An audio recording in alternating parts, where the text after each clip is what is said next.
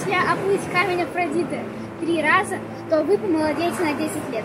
Но я этого не буду делать, потому что не хочу выглядеть на 3 года. Меня пока что все устраивает. А, так теперь, какой же из этих камней э, камень Афродиты? Мне вот нравится больше, но камень Афродиты именно считается вон тем, э,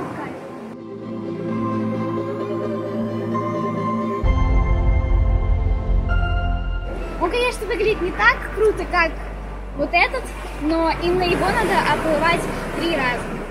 И, ну, еще на этом можно поранить. Всем привет, с вами Ева Рисер. И так как сегодня суббота, мы с моими родителями решили поехать прогуляться.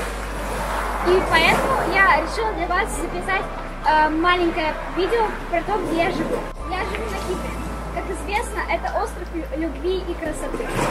Каждый турист, который приезжает на Кипр, конечно же, э, поедет в бухту Афродиту, куда я сейчас не приехала, чтобы вам про нее рассказать. По легенде, именно здесь богиня любви и красоты Афродита вышла из морской.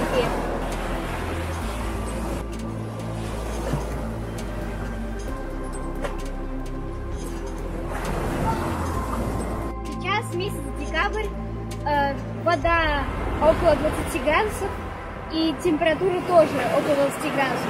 Поэтому купаться я не буду. Ну, некоторые смелые, конечно же, идут, но я, ну, мы решили этого не делать. А теперь давайте посмотрим на это все с высоты птичьего полета. Для этого мы сейчас запустим дрон.